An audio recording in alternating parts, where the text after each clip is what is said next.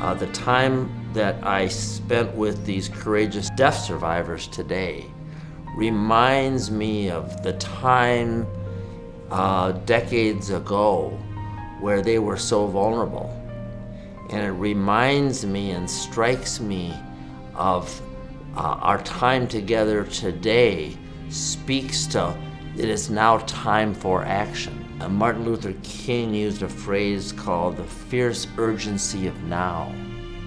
And what I feel is what that is. There is a fierce urgency of now to do something today uh, together with these deaf survivors to expose what has been so that using the fierce urgency of now and drawing upon the civil rights movement and Martin Luther King, the Reformation, when Martin Luther posted, there is and was a fierce urgency of now.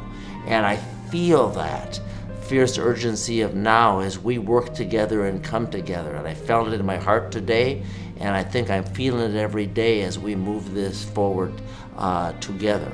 A fierce urgency of now. It is time. It is time for truth. It is time for truth telling. It is time uh, for us to come together. It is time for action, and there is a fierce urgency of now.